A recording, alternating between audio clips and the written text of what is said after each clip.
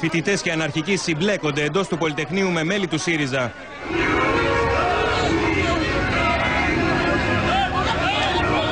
Σπροξήματα, βρισιές και συνθήματα κατά της κυβέρνησης ήταν όσα ακολούθησαν στο άκουσμα ότι στο μνημείο των Πεσόντων θα κατέθετε στεφάνι και ο Αλέξης Τσίπρας.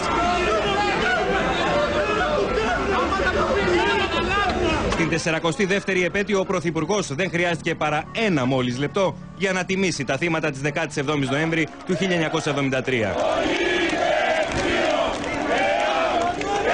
Ο Αλέξης Τσίπρας κατέθεσε το στεφάνι με συνοπτικές διαδικασίες και αστραπία εγκατέλειψε το χώρο σχεδόν φυγαδευμένος από τους αστυνομικούς της φρουράς του την ώρα που οι συγκεντρωμένοι φώναζαν το σύνθημα Ψωμί, παιδεία, πρώτη κατοικία.